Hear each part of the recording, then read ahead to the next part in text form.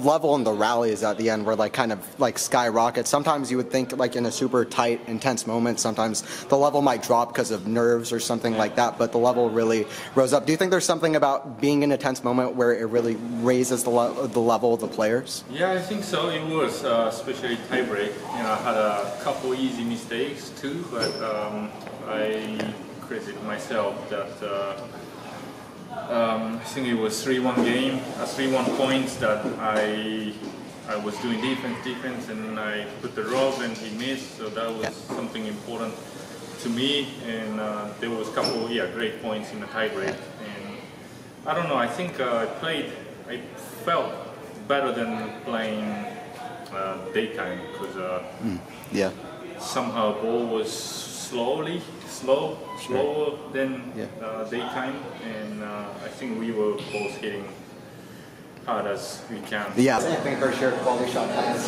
Um, amazing comeback in that match. I, I, noticed towards the end of the second set, I felt like you could get a little bit more, be a little bit more aggressive with your shots, and that um, Evans was coming to net a lot throughout the whole match. Where, uh, what did you feel like changed that you could? Uh, dictate a little bit more, be a little bit more aggressive. Yeah, I got a little more confidence the sixth set. I got breaking, and then from there on, I just started to move better, had a little more energy, and yeah, that's pretty much why I started to yeah, play a little better and got some chances and use those one Yeah. Um, and then uh, I, I know that you were coming out of are in 2022 right now.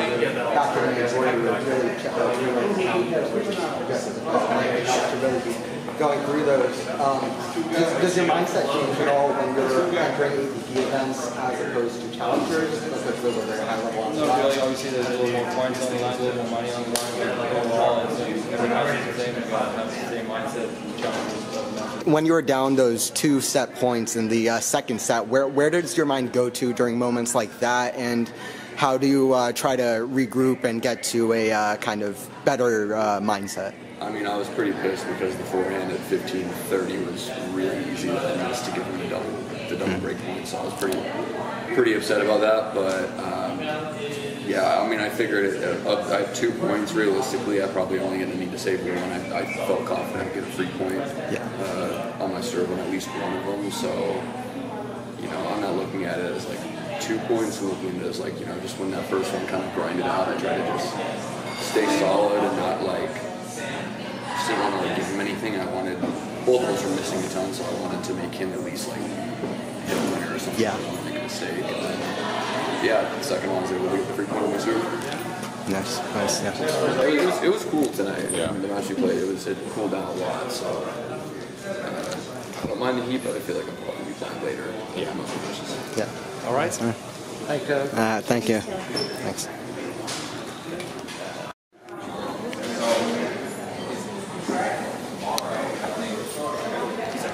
Just interviewed Taylor Fritz. That was crazy.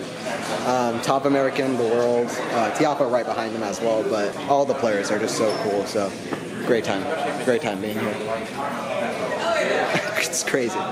You're in a tough tiebreaker at the end of that first set. What, what was your mindset like when he was like coming back and everything was getting real like tight and crazy? Yeah, I just tried uh, not to thank him when I when I felt the nerves a little bit. I tried to know that he probably had him too, so to make him play as much as I could. How do you go even into a match against a guy like Max, like where you just don't know what to expect? What were your preparations? You know, I don't really prepare too much uh, differently than other matches besides hitting uh, more turns than normal. That's really all you can do is, you know, I, I hit some, hit some returns and, and some passing shots. Yeah. This is the best result you've had.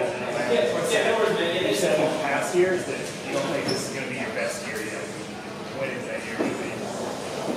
I'm hoping when I'm at 35. yeah, I guess I won't know until it happens.